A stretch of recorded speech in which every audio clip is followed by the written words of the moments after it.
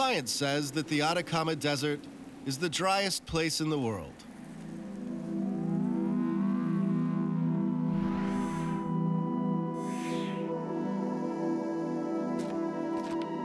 The desert plateau is about 10,000 feet above sea level.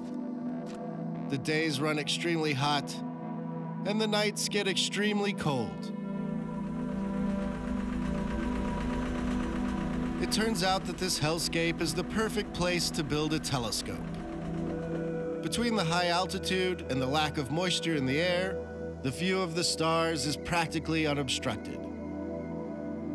I'm heading for the Atacama Large Millimeter Array, aka ALMA, the largest astronomical project in the world.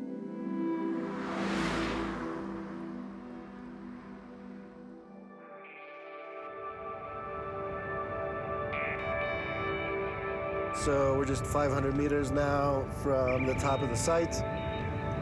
I do feel a little bit lightheaded already. ALMA's telescopes sit at nearly 17,000 feet, the same elevation as Everest Base Camp. So it's cold, windy, and difficult to breathe.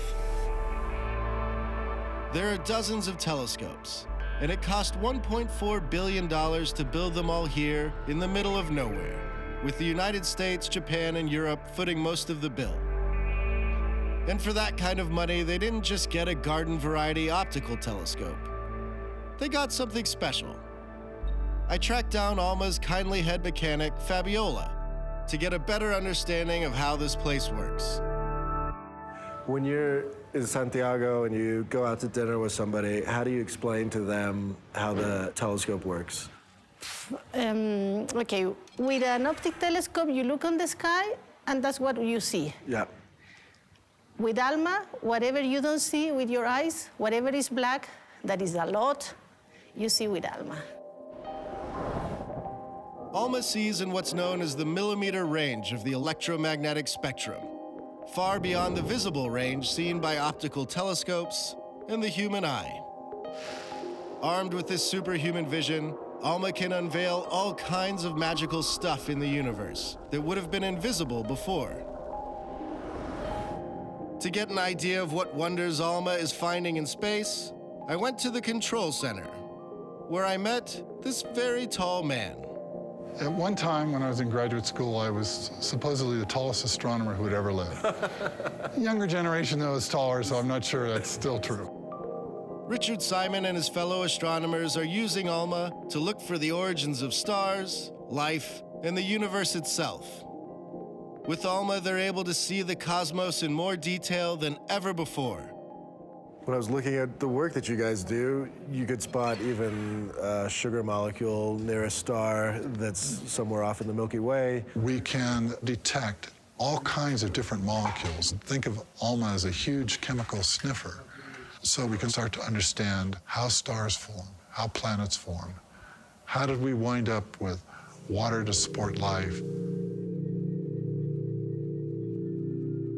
The surreal images ALMA creates have revealed Earth like exoplanets, a comet nursery, and galaxies at the edge of the known universe. In the not so distant future, they could also help answer the question of whether we're not alone. One of the small moons of Saturn, Enceladus, has geysers of water vapor and other materials coming out. And it's possible with ALMA to actually look at that and try to see some of the chemistry that's going on. What is inside that moon? What is blasting out into space? Are there complicated organic molecules? I suspect that we will learn a lot more about the chemistry of life and the possibilities for life in very strange places, even here in our own solar system. Keep watching the skies, you beautiful nerds.